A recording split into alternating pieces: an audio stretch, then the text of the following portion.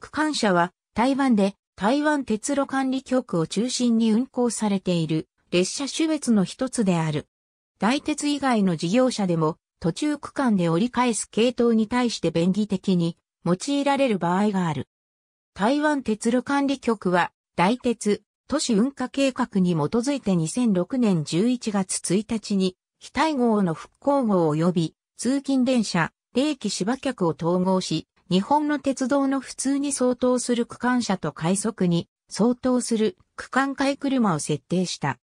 基本的に各駅に停車しているが、2015年3月24日、ダイヤ改正より2018年8月14日まで、縦貫線で EMU500 型電車を3編成連結した12両編成列車を運行していた。時刻表上では、区間車と表記されており、ホーム有効庁が不足する参考、ウキス、南樹林、富岡、北新竹、三世京、香山、先頂などの駅は通過扱いとなっていた。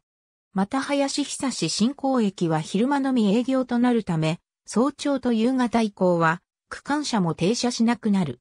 2018年10月12日ダイヤ改正より区間車の運行体系が大幅に見直され、多くのロングラン運用が設定された。利用の少ない駅を通過し、速達運転を行う。南は、法領、東はカレンまでの区間に設定されている。詳細な運用は以下の通り、担当キム団、キールンカ、チナ、ナト、シオトメ南高、松山、台北、板橋田、一輪、クイス、歌、も、もぞの、中、ほ、新、山も、もこ、こう、あたら、し、ゆ、たかたけ北、新築竹み、な、みから、なえぐり、ドラミツヨシこう、さっと、よ、はら、単古体現うつ中引く体系から新からす日から、消化隊員林社等田中に水林と六、南大場や下見を、かよ、新栄、流電、前下新市栄光体南大古体、六畜、岡山、くす、き、厚さ、新座栄高尾、大鳥山から究極道平東から、西津江長州、法領竹南湖、竜、白草トン通り、大空園里大港、清水砂鹿から大原消化消化体、林林、シャトー田中。に水車シャトー駅は、完全通過樹林板橋台北松山、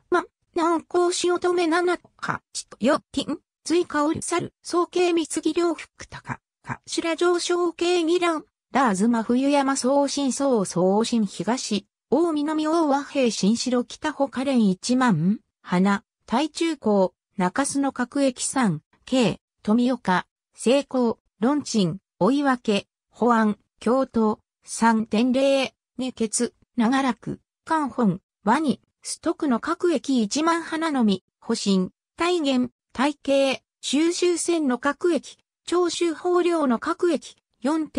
総の各駅収集線と総応駅は、優等種別の運行自体が、車種区間車の表示がある。大都会客運台北連ね栄光車207素地、台湾高速鉄道や台北都市運、各県市のバス路線のうち途中で折り返す、系統などでも便利的な案内として使われることもある。ありがとうございます。